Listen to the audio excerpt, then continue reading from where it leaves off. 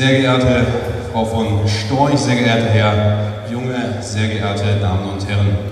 Genau, ich bin Direktkandidat im Wahlkreis 167 und Bundestagskandidat.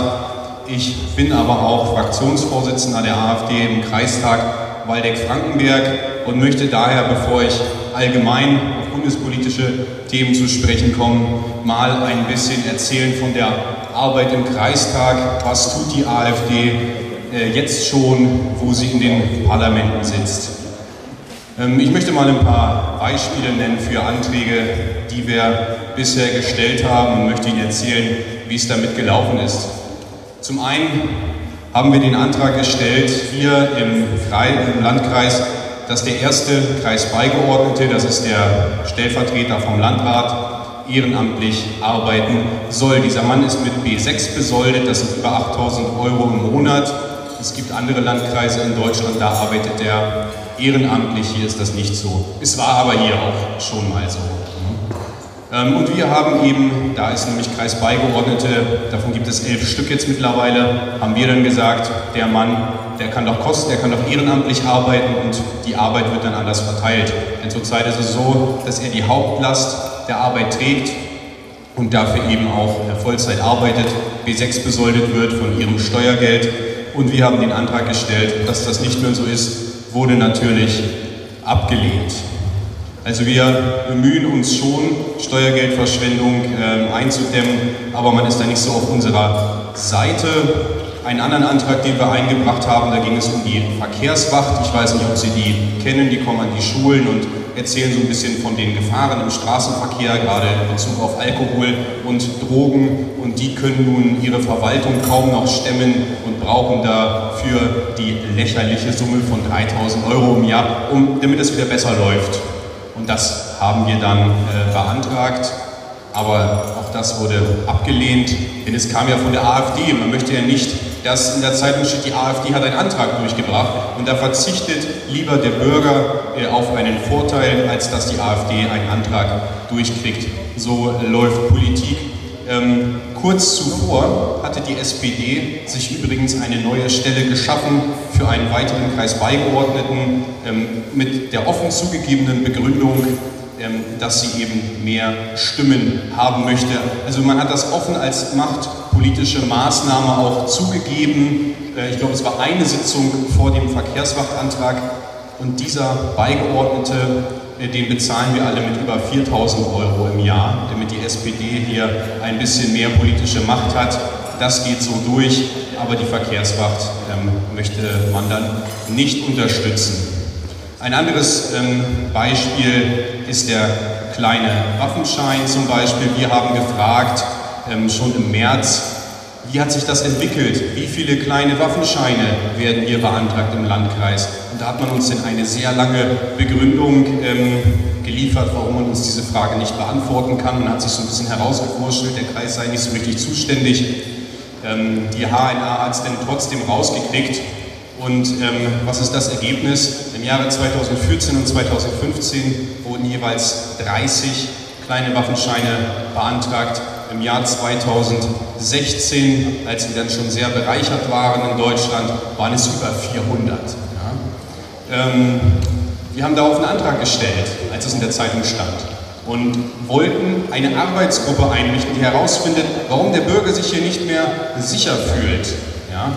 Und ähm, Sie können sich vorstellen, ähm, wie man damit umgegangen ist. Auch hier hat man abgelehnt, sich überhaupt damit zu befassen, hat wieder eine lange Begründung geliefert, warum der Kreis nicht zuständig ist. Ähm, Sie, äh, wir haben ja Schwarz-Rot äh, als Koalition im Kreis an der Macht und äh, so wie sie, die, ähm, wie sie die Prioritäten auf Bundesebene setzen, werden sie eben auch im Kreis gesetzt. Da werden dann Dinge lieber verschwiegen. Ja, äh, das sind, so die, das sind so Beispiele dafür, wie wir uns hier im Kreis einsetzen, ähm, aber man macht es uns eben schwer. Viele Anträge werden einfach überhaupt nicht ähm, angenommen. Äh, wir hatten, auch mal, wir hatten auch mal eine Initiative, da ging es um Busfahren. Es gibt nämlich die Möglichkeit in Düsseldorf mittels eines Anbieters, da, kann, da schaut man auf seinem Smartphone Werbespots und kann dann kostenlos Bus fahren, ja, wenn man das möchte. Und wir wollten prüfen, ob dieses aber in Frankenberg durchführbar äh, sei in Waldeck-Frankenberg. Wir hatten den Auftrag gegeben, das prüfen zu lassen, ob das für uns eine Option sein könnte. Denn es hat ja heutzutage jeder ein Smartphone, auch Leute, die nicht viel Geld haben. Da könnte man dann wirklich kostenlos hier die Verkehrsmittel nutzen. Aber es wurde sogar abgelehnt, diese Sache auch nur zu prüfen, weil sie eben wieder von der falschen Seite kam. Ich wollte Ihnen nur mal so einen kleinen Überblick äh, geben. Das ist nur ein Ausschnitt von Anträgen, die wir gestellt haben und Anfragen. Ja. Man blockiert uns halt ähm, massiv, auch bei absolut sinnvollen Anträgen im Sinne des Bürgers, auch wenn es nicht um Flüchtlingspolitik geht. Ähm, aber wir bleiben natürlich dran.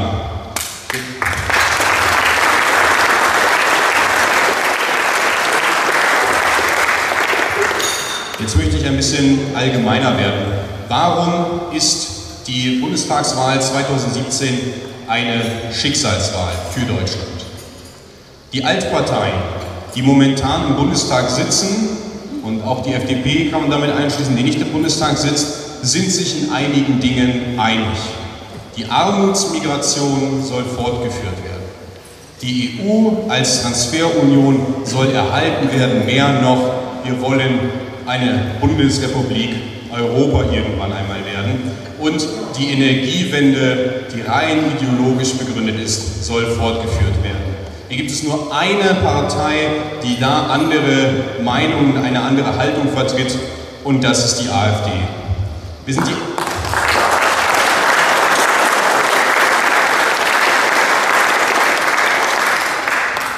Wir sind die einzige konservative und die einzige echte patriotische Partei in Deutschland. Die SPD war ja schon länger bekannt dafür, dass sie nicht patriotisch ist. Ähm, die Frau Ösus ist dafür äh, ein klares Beispiel, die als Integrationsministerin zwei Brüder hat, die vom Verfassungsschutz beobachtet werden, weil sie Islamisten sind und die eine deutsche Kultur nicht identifizieren kann und am liebsten das Wahlrecht für Ausländer sich wünscht. Und da muss ich auch klar sagen, natürlich wäre die besser in Anatolien aufgehoben.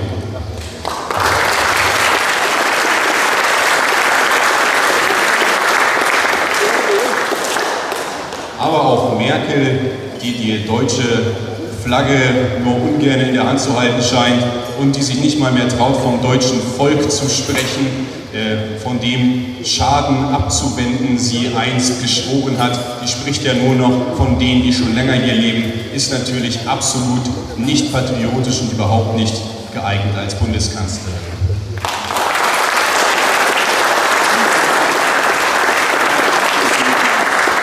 Eine weitere Sache, für die die AfD sich mit aller Vehemenz einsetzt, sind Volksentscheide auf Bundesebene. Denn die Politik regiert am Volk vorbei. 60 Prozent der Deutschen sagen, der Islam gehört nicht zu Deutschland.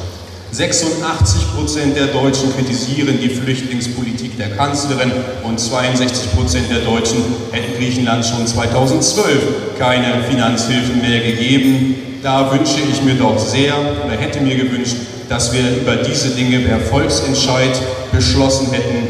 Da würde es Deutschland jetzt wesentlich besser gehen. Wir haben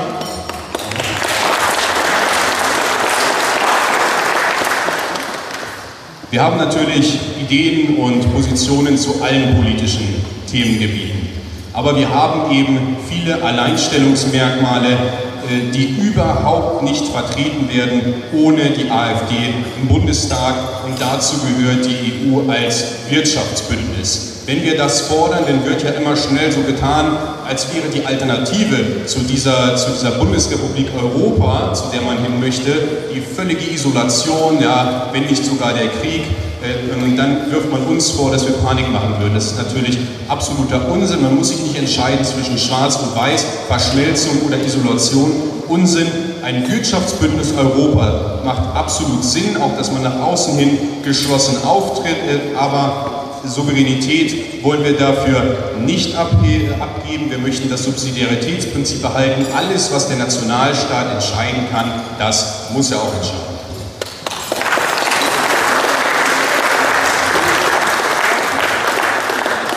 Und die EU funktioniert ja auch überhaupt nicht. Was, man, äh, was dort in den Verträgen steht, ist ja oftmals das Papier nicht wert, auf dem es geschrieben steht. Theoretisch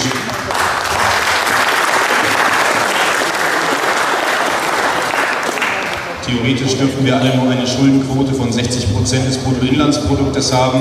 Äh, können Sie sich mal informieren, wie viele Länder in der EU das einhalten. Eigentlich ist im Vertrag von Maastricht auch geregelt, dass ein Land niemals für die Schulden eines anderen aufkommt. Auch das ist ja hinfällig. Die EZB darf keine Staatsfinanzierung betreiben. Daran wird sich nicht gehalten.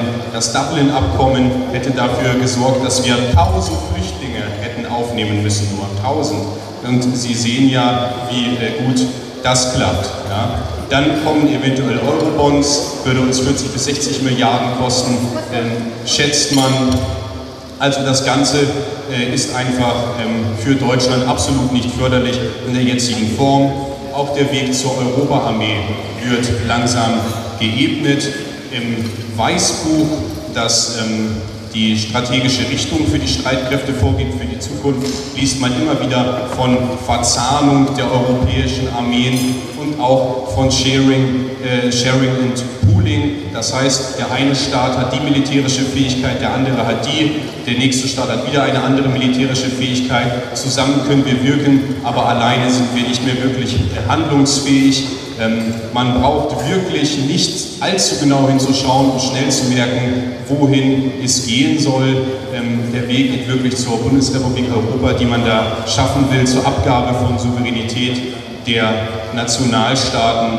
Und da sind wir die einzige Partei, die das nicht möchte. Da möchte ich auch noch zu bedenken geben, dass ähm, diese Veränderung der Bevölkerung, die gerade durch die massive Migration einsetzt, natürlich für ein solches Projekt gar nicht schlecht ist. Ja? Denn wenn, ich, denn wenn die, die nationalen Völker äh, in der Minderheit sind irgendwann, wenn diese, diese Kulturen, äh, wenn das sich auflöst, das Brauchtum und überhaupt die nationale Identität, alles ersetzt wird durch Zustrom ähm, aus dem Nahen Osten, aus Afrika, dann ist äh, man in Europa vielleicht allgemein eher bereit dafür, äh, für diese Verschmelzung. Ähm, eine andere Sache ist die Energiewende. Auch da vertritt die AfD als einzige Partei ähm, die ähm, Position, dass das Ganze ein ideologisch motivierter Unsinn war. Die Technik war ja überhaupt noch nicht vorhanden. Man hat sich da irre machen lassen ähm, mit, äh, wegen der Fukushima-Sache. Dazu muss man auch mal überlegen, wie, der, wie, hoch denn hier in Deutschland die Wahrscheinlichkeit für ein solches Erdbeben und einen solchen Tsunami sind. Ja? Damit haben wir ein bisschen weniger Probleme als die Japaner, aber man hat denn sich entschlossen, sofort zu handeln, äh, obwohl die Technik überhaupt noch nicht da ist. Wir können den Strom kaum speichern. Wir haben im letzten Jahr, ich meine, 1,5 Milliarden an andere Länder gezahlt, den Strom, damit die unseren Stromüberschuss aufnehmen. Ja? Denn wir haben ja keinen planbaren Strom mehr. Windkraft ist ja auch ähm, ein großes Thema, gerade in unserem Landkreis. Es ist ja auch nicht so, dass dort eine gleichmäßige Versorgung stattfände. Es gibt ja immer so Spitzen. Sie haben vielleicht aufs Jahr, können Sie denn sehen, so und so viel Strom wurde erzeugt, 2016, 2015, aber es gibt eben auch Tage, da wird fast überhaupt kein Strom erzeugt. Ja? Und dann gibt es Tage, da wird viel zu viel erzeugt. Naja, und äh, da sollen wir dann äh, drauf setzen. Ähm, die Forschung im Bereich Atomkraft, um das vielleicht sicherer zu machen, wurde komplett eingestellt. Und äh, in 13 Jahren soll es ja auch überhaupt keine Autos mit Verbrennungsmotor mehr geben, äh, wenn man da sich die Grünen anhört. Also völliger Irrsinn, absolut ideologisch motiviert und hat mit der Realität nichts zu tun. Unsere Regierung hat von Träumereien geleitet einen Kurs auf ein linksgrünes Utopia genommen, ohne uns zu fragen, ob wir bereit sind, die Nation unserer Väter dafür aufs Spiel zu setzen. Aber ab dem 24.09. werden wir ja im Bundestag sitzen und die Hippie-Truppe in Berlin auf den Boden der Tatsachen zurückkehren.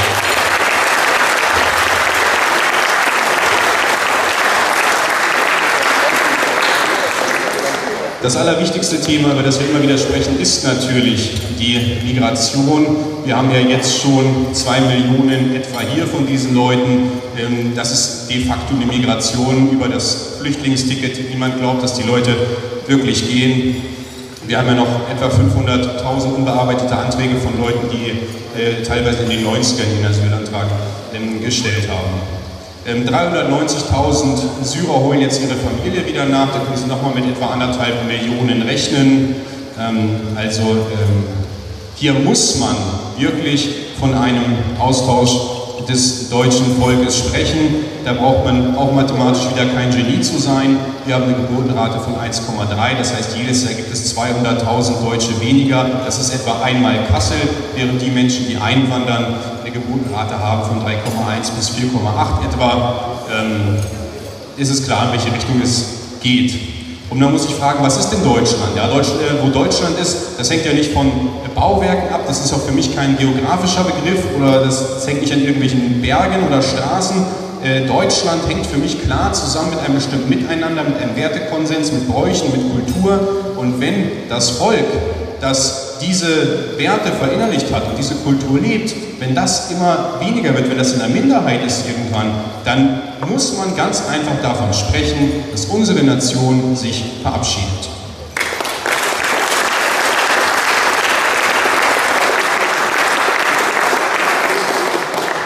Diese Bereicherung hat uns übrigens auch, weil man ja immer sagt, man äh, wenn man die Sicherheit hier ähm, sich verschlechtern sieht, dann leidet man unter diffusen Ängsten. Ähm, es gibt ein weltweites Sicherheit, Sicherheitsranking, den Travel and Tourism Competitiveness Report.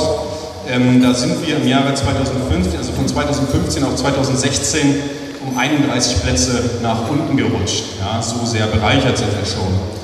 Ähm, und man sieht es auch in den Statistiken ähm, des Bundeskriminalamtes. Also es ist ganz klar so, dass Deutschland unsicherer wird und dass diese, ähm, diese massive Migration für uns in keiner Weise eine Bereicherung ist. Das bringt uns nicht nach vorne. Die Menschen sind auch ungebildet dort. Also es ist auch für den Arbeitsmarkt kein Vorteil dabei. Und Unglaublicherweise gibt es auch hier nur eine einzige Partei, die diese Entwicklung stoppen möchte. Und hier muss man auch ganz klar sagen, dass wir hier nur ein gewisses Zeitfenster äh, haben. Wenn sich irgendwann die Mehrheiten hier verändern, dann kann das Leben hier auf ganz demokratische Weise massiv geändert werden. Und deswegen müssen wir uns beeilen und deswegen müssen Sie alle die AfD natürlich unterstützen, wo Sie können.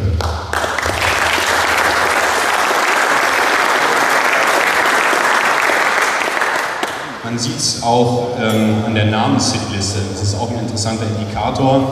Ähm, es kommt ja jedes Jahr eine Liste raus, ähm, auf, der denn, auf der man dann sehen kann, wie beliebt welche Vornamen sind. Und dann nehmen wir mal den Namen Mohammed, der war 2015 noch auf Platz 41 und 2016 war er dann schon auf Platz 26.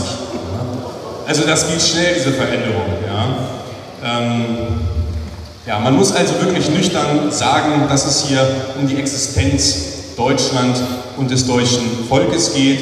Und da darf es kein Wegsehen geben und keine Ausreden. Da müssen wir mit allen demokratischen Mitteln Widerstand leisten. Und am 24.09. gibt es daher für die Deutschlandabschaffer einen kräftigen Schuss vor den Bug.